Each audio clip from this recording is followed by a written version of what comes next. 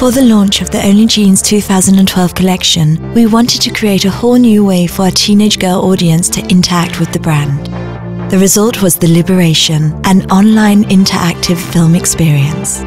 It is a fashion catalogue, a movie, a game, a music video, and the world's first on demand video retail environment. This is how it worked. The entire experience was built around a story of rebellion. Three girls roll into a sleepy town looking for trouble. As you watch the film, you can start interacting with it. With a simple click at any time, the film freezes on a preloaded high res still and then turns into an interactive catalogue. Every item of clothing has been tracked, and from here you can like, browse, pin, tweet, and buy. As you carry on watching, you are invited to interact with the action of the film, moving the story forward. You can steal a pair of jeans. And if you're lucky, the experience crosses over into a reality and the jeans are sent to your home free. You get to sneak a peek at a hot guy getting undressed in the woods.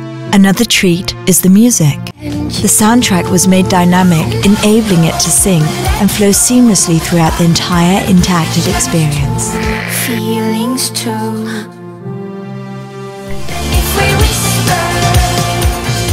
You can download the soundtrack Let Go by Swedish breakthrough artist Loon as you watch her perform in the final scenes of the movie.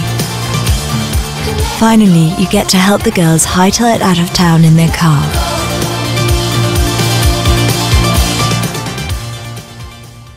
At the end, your personal experience is summed up in a bespoke catalogue, so you can revisit the clothes you looked at, shop, share, download music, and wallpapers.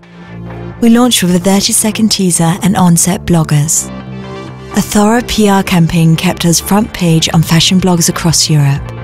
And within two weeks, we had over 280,000 visits and a 442% increase on interaction with Only.com.